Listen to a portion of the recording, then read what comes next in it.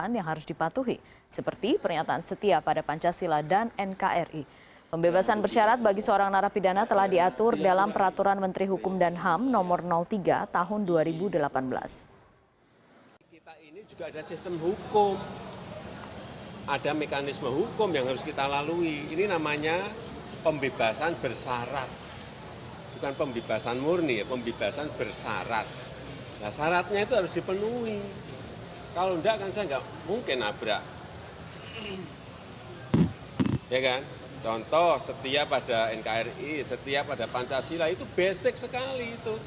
Sangat prinsip sekali. Ya, saya kira jelas sekali ya. Sementara itu, Menteri Pertahanan meminta Abu Bakar Bashir mengakui Pancasila sebagai dasar negara dan mengikuti prosedur administrasi hukum yang berlaku. Menurut Menhan, pengakuan terhadap Pancasila adalah wajib bagi setiap warga negara, sekaligus memiliki implikasi khusus bagi yang menolaknya. Ya, bagaimana pengertian saja. Karena negara Pancasila, ya kan nggak Pancasila ya keluar dari sini, ya, itulah. Dibebaskan ya keluar dari sini. Hah? Ya, negara Pancasila ke mana?